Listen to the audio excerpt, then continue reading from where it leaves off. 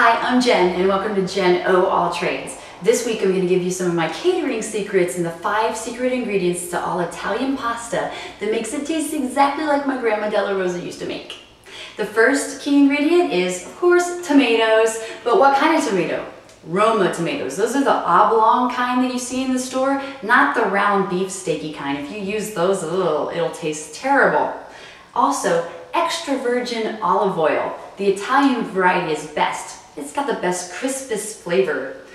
The third, fourth, and fifth key ingredients are all spices. Oregano, basil, and garlic. Now, the basil and the oregano, they're okay in the dried form, though fresh is always best, of course. But the garlic, you definitely want to do your garlic fresh. And invest in this. This is called a garlic press. It gets the most flavor out of your garlic. And if you like really garlicky pastas, add it in towards the end. If you don't like the garlic taste so much, add your garlic in towards the beginning. The more garlic cooks, the less flavor you can taste in the end. When you're cooking pasta, I always like to look on the back of the package and subtract two minutes off of the cooking time that it says. That makes it El dente. That's what restaurants are famous for when they serve it, so it's not too mushy, it's to the teeth. It's El dente.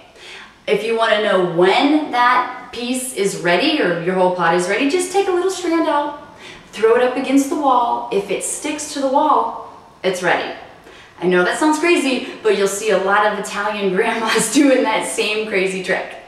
So join me next week in Jen O All Trades when I tell you how you can detox through the pores of your feet in just 30 minutes. Join you next week.